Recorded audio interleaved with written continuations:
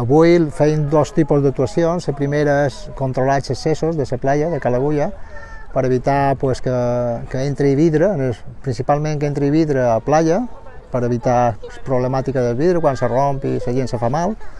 Després, compliment de les ordenances. De les ordenances tenim una ordenança específica de, de platges i aquesta ordenança pues, regula eh, l'ús de la platja de Calagulla i el resta de platges i procurant fer complir l'ordenança. Eh? El tema de vidres, el tema de música, eh, la platja de Calagulla és un espai natural, protegit, i està prohibit eh, l'ús de música, tant per, per visitants com per, les activitats que tenim a la platja, i vigilar el compliment d'això. Després, les ocupacions de la platja, ocupacions excessives, aquells turistes que venen amb, amb, amb objectes voluminosos que pretenen ocupar la platja, també procurant que això no sigui així, vigilar el tema de furs, també donem una mà amb això a, a la Guàrdia Civil, eh, vigilant la venda ambulant, que no se produeixi venda ambulant, eh, treballar la venda ambulant i, en definitiva, aquesta és la feina que fem a, a platja. També estupefaents, m'ha de vostè?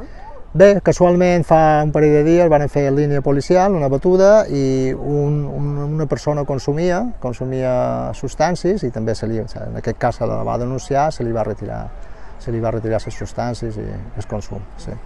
Què tal se comporta?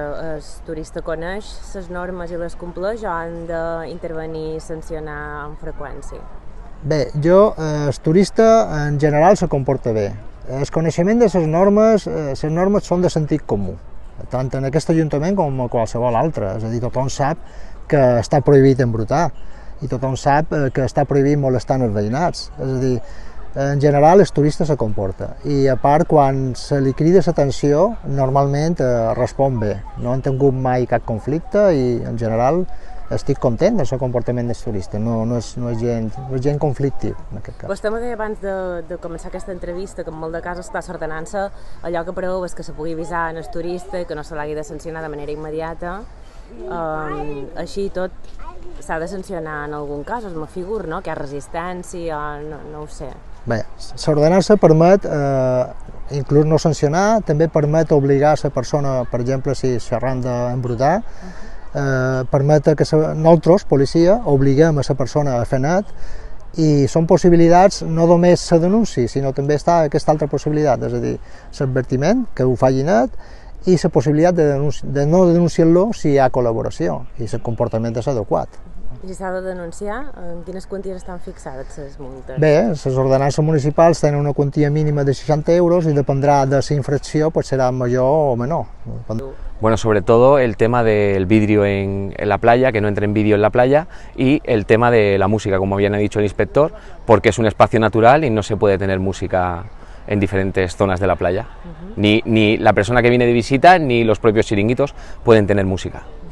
Deia l'inspector que en general el turista que ve en aquesta zona té un comportament bastant cívic. ¿Us suscriuen això? Sí, sí. Además tenemos un turismo ahora mismo muy familiar y es un turismo bastante, eh, bastante respetuoso con, con, el medio, con el medio que tenemos y, y, se comportan bastante bien. No quita que de vez en cuando tengamos que hacer estos operativos para, para, para tener una seguridad y una limpieza en las playas del municipio. ¿En quina frecuencia fan estas batudes, los programan? Bueno, son aleatorias. Eh, podemos hacer, el mismo día podemos hacer en diferentes playas, como, como a lo mejor estar un par de días sin asistir a ninguna playa con estos operativos, pero siempre tenemos, uno, siempre tenemos un oficial o una pareja eh, dando vueltas por las playas, independientemente de los operativos que hacemos. Uh -huh. uh, fa la impressió de que cada ratjada s'ha girat cap a un turisme com a més familiar. És vera que en altres mm. anys, altres dècades enrere, és vera que cada ratjada tenia bueno, es tirava un tipus de turisme com a més d'oci nocturn o com a, mm. i hi havia conflictes de vegades. S'ha corregit això? Además es una impresión nostra? Com...